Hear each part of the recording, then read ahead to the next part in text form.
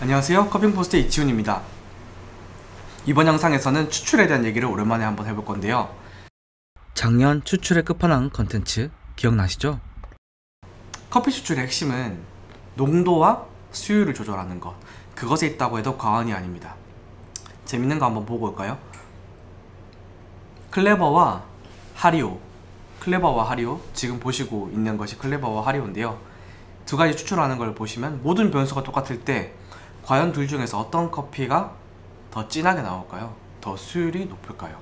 나오는 커피 양이 동일하다고 했을 때 농도가 더 진하면 수율이 높겠죠? 이거는 모르시겠으면 제 추출의 끝판왕 영상을 보시고 오시기 바랍니다.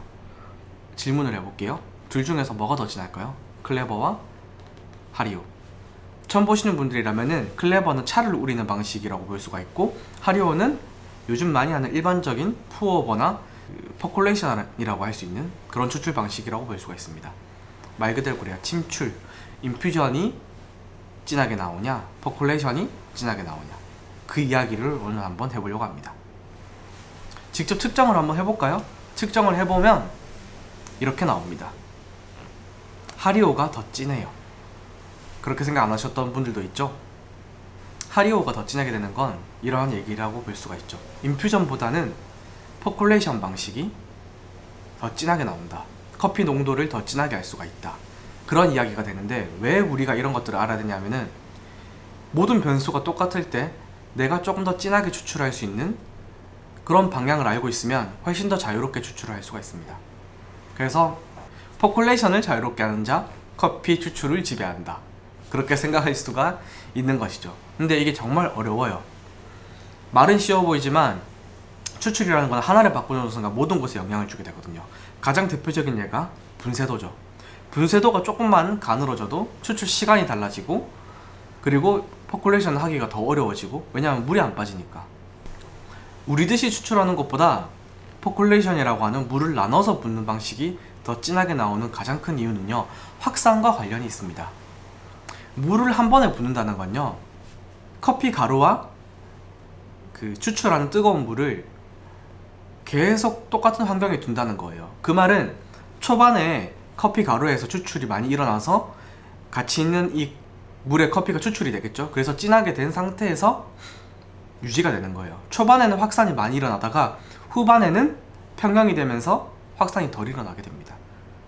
하지만 물을 나눠서 붓는 방식 같은 경우에는, 경우에는 초반에 커피 액체보다 이 물이 훨씬 농도가 낮기 때문에 물 쪽이 커피의 농도를 다 뺏어가요. 확산이 일어나는 거죠. 그렇게 다 빠지고 나면은 다시 또 깨끗한 물이 들어가기 때문에 확산이 또 일어나게 되는 거예요. 상대성이 있기 때문에 훨씬 더 많은 추출을 일으킬 수가 있는 겁니다. 단 전제 조건은 만약에 이렇게 똑같이 똑같은 분쇄도에서 똑같은 방식으로 한다면 시간이 훨씬 많이 걸리겠죠. 즉 percolation을 한다는 거는 커피 추출 시간에도 영향을 주는 걸 수도 있습니다. 근데 만약에 같은 시간 안에 추출 시간이 같은데 infusion과 percolation을 할 수 있다면 뉘앙스를 바꾸는 좋은 방법이 된다는 것이죠.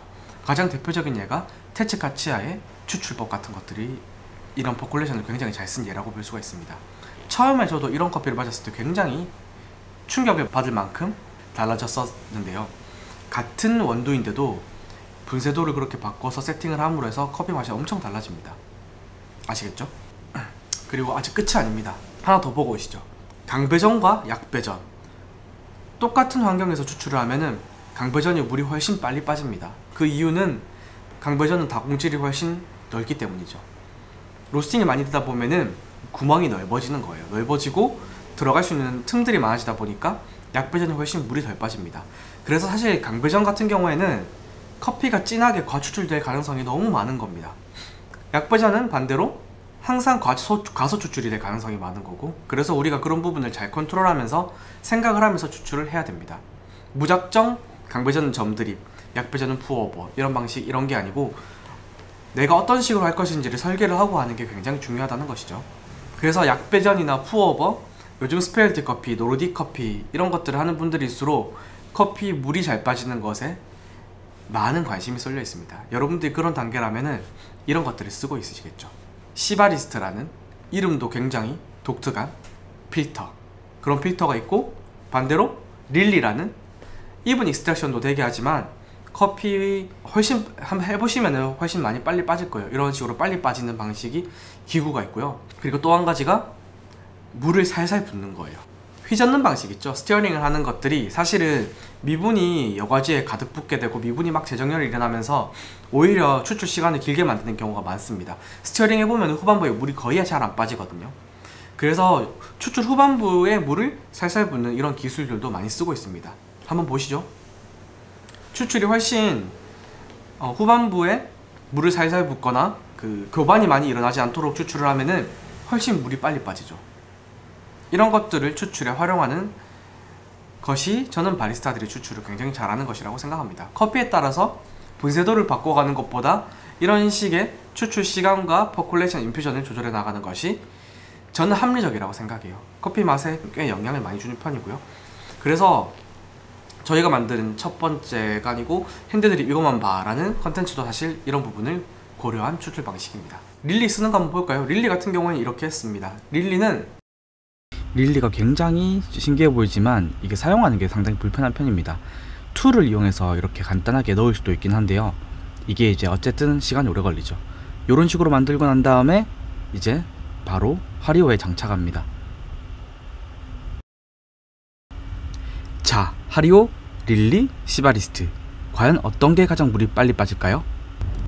네, 추출하고 있는데요. 오늘 사용된 커피는 에티오피아 커피인데 굉장히 약하게 볶인 그래서 일반적인 하리오로는 물을 다 빼기도 정말 어려운 그런 원두예요. 저는 예전에 일본에서 정말 맛있는 커피를 마셨던 적이 있는데요. 이게 필터의 영향이 굉장히 큰 것 같아요. 지금 시바리스트 보면은 2분 9초 만에 물이 다 빠졌죠. 근데 시바리스트를 자꾸 시바리스트 하니까 그런데 이게 무조건 좋은 건 아니에요. 나머지는 아직도 한강같이 많이 남아있죠. 시바리스트가 조금 안 좋은 게 물은 빨리 빠지는데 맛이 좀 많이 달라져요. 그리고 굉장히 조금 더 깨끗하다기보다 탁한 느낌이 들더라고요.